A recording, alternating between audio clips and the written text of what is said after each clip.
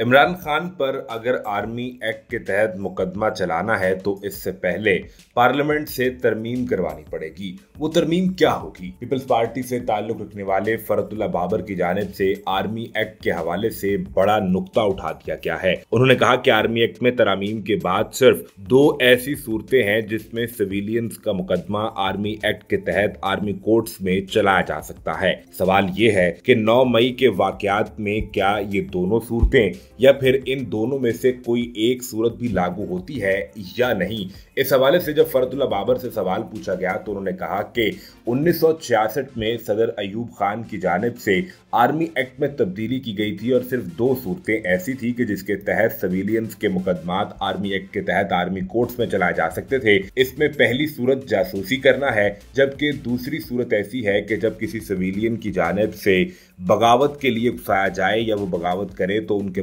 मुकदमात army act के तहत चलाए जा सकते हैं। सवाल ये पूछा गया कि फरदुल्ला बाबर क्या नौ मई के वाकयात में इन दोनों सूरतों में से कोई एक सूरत देखते हैं कि जिसके तहत मुकदमा चलाया जा सके? इस पर जवाब देते हुए फरदुल्ला बाबर की जानब से कहा गया कि उन्नीस के बाद से लेकर आज तक पार्लियामान इस एक्ट में तरमीम नहीं कर सका। लिहाजा नौ मई के वाकयात में मेरी नज़र में जासूसी या फिर बगावत का कोई अंसर मौजूद नहीं है।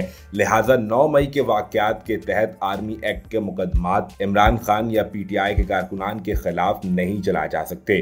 फरतुल्ला बाबर ने कहा कि एतजाज एहसन और लतीफ खोसा जो पॉइंट अदालत में उठा रहे हैं, वो यही नुकता है। अगर तो पार्लियामान तरमीम कर लेता या फिर इसमें दीगर सूरतें भी शामिल कर दी जाती, जिस तरह नौ मई के वाकत हुए तो फिर इसके बाद आर्मी एक्ट के तहत मुकदमा चलाया जा सकता था। लेकिन ताहाल उन्नीस के बाद से आज तक आर्मी एक्ट में कोई तब्दीली नहीं की गई है।